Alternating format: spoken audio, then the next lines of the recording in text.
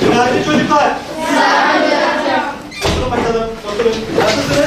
İyiyiz. demiş. Osmanlı Devleti ile ilgili nereleri fethetmiş ona yönelik konuları işledik değil mi? Daha sonra ne yaptık? Orta Çağ'ın karanlığının Avrupa'ya neler getirdiğini ve Avrupa'nın Haçlılarla Haçlı seferlerinde bu kısmı çiziyoruz. Daha sonra defterlerimize not alacağız. Sömürgecilik neymiş? Güçlü devletlerin sonuçlardan biri oradaki keşfettikleri yerlerdeki bölgelerdeki altını gümüşü alıyorlar mıydı? Evet hatta altınla gümüşle alınıp ekonomilerini güçlendiriyorlardı. Yaymaya çalışıyordu. Hristiyanlığı yaymaya çalışıyordu değil mi çocuklar? İşte sömürgecilik de sadece yeraltı kaynakları değil sömürü altında diyebiliriz. Bunun dışında Osmanlı Devleti'ni sömürgeci olarak nitelendirebilir miyiz? Altını çizin. Bakın coğrafi keşifler bize hem sebepleri hem sonuçlarıyla Hindistan'a gitmesi, Amerika'nın keşfi gibi unsurlar Avrupa'da birçok geliş- gelişmeyi beraberinde ne yaptı? Herhangi bir başka bir engelim yok e, görme engellik dışında. E, 20 yaşında e, tedaviler e, cevap vermeyince e, görme engelli olarak hayatıma devam ediyorum. Tüm eğitim hayatımı, üniversite hayatımı, yüksek lisans hayatımı e, görme engelli olarak bitirdim. Ortaokulu ve ilkokulu görerek bitirdim. Sonraki süreçte bir lise döneminde bir ara vermem gerekiyordu tedavi süreciyle. Açık lise mezunuyum. E, yani herhangi bunun dışında bir engelim yok.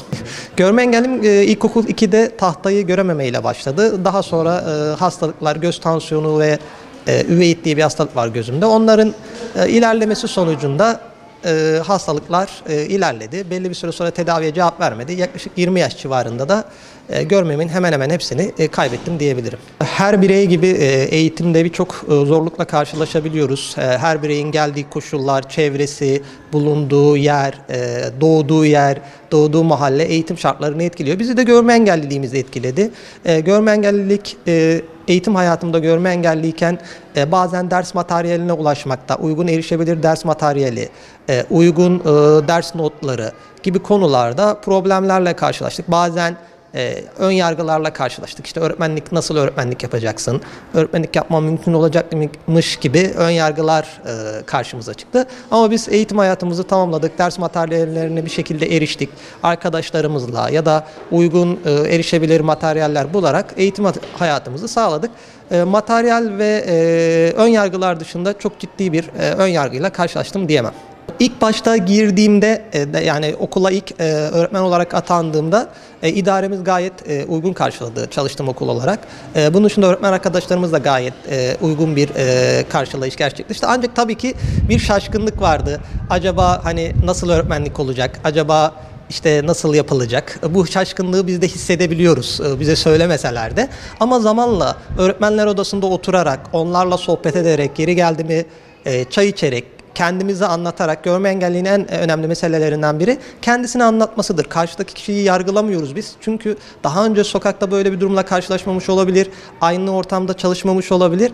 Onlara anlatarak, neyi nasıl yaptığımızı anlatarak hatta e, belki çekimlerde de gördünüz. Benim sürekli öğretmen masasında oturduğum bir yer vardır. Ora şey derler, Ahmet'in yeri derler. Mesela işte çay almaya gittiklerinde Ahmet çay içer misin diye seslenirler. Öğrenciler de aynı şaşkınlığı yaşadılar. İlk başta bir hani nasıl yapacak acaba? Şimdi sonuçta diğer öğretmenlerden farklı bir durumu olan bir öğretmen. Acaba dersi nasıl işleyecek? Kitabına yapacak? Nasıl okuyacak? E, Ben ilk derste hep e, gittiğim sınıflara ilk defa giriyorsam önce bir görme engelli olarak neyi ne kadar yapabildiğimi ya da yapamadığımı anlatıyorum nasıl ders işleyeceğimi, o süreci tüm e, detaylarıyla öğrencilerime akta- aktarıyorum. Mesela parmak kaldıranları bir öğrenci söylüyor bana. Bunları görevlendiriyorum, hoşlarına gidiyor, tahtayı biri açıyor mesela, birlikte e, çalışmalar yapıyoruz, birlikte sorumluluklar vererek yapıyoruz. E, ama en önemlisi şu, bunu şunun altını çizmek lazım. Görüyor ya da görmüyor olmayanız, olmanız önemli değil. Öğrenci sizin bilginiz, birikiminiz varsa, öğretmen kimliğinizde o sınıftaysanız sizi kabul ediyor.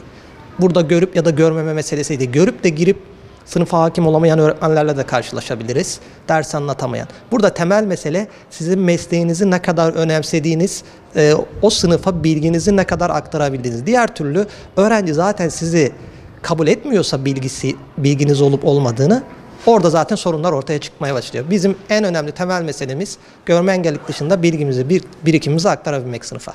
E, görme engelli öğretmenler olarak e, bazen e, işte okullara atanıyoruz, bazen işte öğretmenler odasında e, öğretmen arkadaşlarımızla karşılaşıyoruz. İlk atandığımızda bazen e, bu ön yargılar fazlalaşabiliyor. İşte hocam öğretmenliğini nasıl yapacaksın? İşte sen öğretmenlik yapabilir misin gibi ön yargılarla karşılaşmak bazen bizim arkadaşlarımızı e, yorabiliyor. Ancak buradan bizim idarecilerden, velilerden istediğimiz öğretmenin o öğretmenliği yapıp yapabilmesine önce bir bakması. Görmeyen biri olarak öğretmenlik de yapamayabilir. Ancak gören biri de öğretmenlik yapamayabilir. Bu ikisinin arasındaki farkı öncelikle görmeden, bilmeden, o sınıfa girmeden öğren, öğretmen hakkında ön yargılı yaklaşmayalım. Süreçte gözlem yapalım. Eğer yapamıyorsa zaten bir görmeyen öğretmen kimsenin çocuğunun geleceğiyle ilgili bir karar almaz. Kendisi zaten mesleksel olarak geri, geri plana çekilir.